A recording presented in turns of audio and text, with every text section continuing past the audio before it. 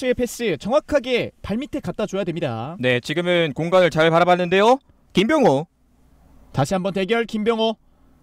김병호. 1대1 성공했습니다. 김병호 박스 안쪽으로 앞쪽에 다시 한번 선수가 있는데요. 뒤에 프리 상황. 그렇습니다.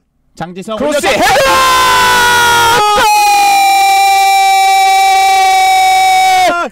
서동현의 머리 선제 득점을 가져갑니다. 스코어 1대0. 장지성 이렇게 되면 도움 4개가 됩니다. 네, 장지성의 크로스 에 이은 역시나 높이. 자, 후반전에 가소련 선수까지 추가하면서 높이에 힘을 썼던 서보원 감독이었는데 자, 높이가 있던 서동현이 박스 안쪽에서 헤더를 성공시킵니다. 정말 완벽한 골이었습니다.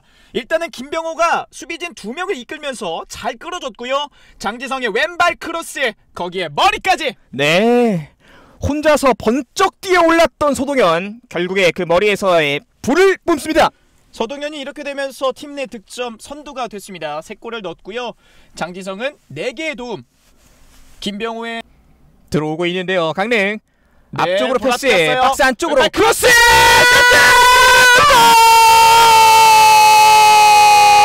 골!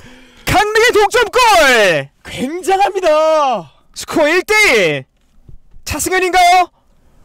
자 왼쪽에서 올라온 날카로운 왼발 컵백. 이 공을 박스 안쪽에 쇄도하고 있던 차승현이 마무리합니다. 와 댓글에서도 를 해봐야겠습니다. 왼쪽에서 김민혁의 왼발 크로스였군요. 박스 안쪽은 차승현이 맞습니다. 강팀이란 말이죠. 강팀을 상대로 좋지 않은 분위기에서 원정 경기 승점 1점을 가져간다? 네, 지금은 김병호 선수가 제 위치에 있지 않았습니다. 그렇습니다 왼쪽으로 연결 강릉입니다 좋아요. 왼발 크로스 올라갑니다. 안쪽 헤더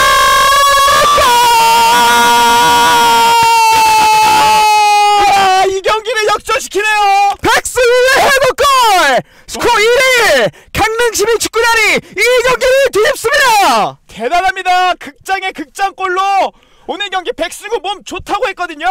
결국에는 역전골까지 백승우가 기록합니다. 자 백승우 환상적인 헤더 득점 아. 이번에도 김민혁의 왼발 크로스 김민혁 왼발 좋거든요. 그렇습니다 백승우 선수 마음껏 포효하고 있습니다 경주한수원을 상대로 원정 경기에서 이런 극장골을 넣는다. 강릉 시민 앞으로 분위기 올라갑니다. 그렇습니다 자 최근 세 경기 정말 좋지 않았던 강릉 시민 축구단 본인들이 스스로 본인들의 위기를 극복하고 있는 모습 오늘 경기 보여주고 있습니다 백승우가 이렇게 되면 올 시즌 세 번째 득점을 올렸습니다. 네 지난 7라운드 경기의 득점에 이어서 오늘 경기 정말 중요한 순간에 득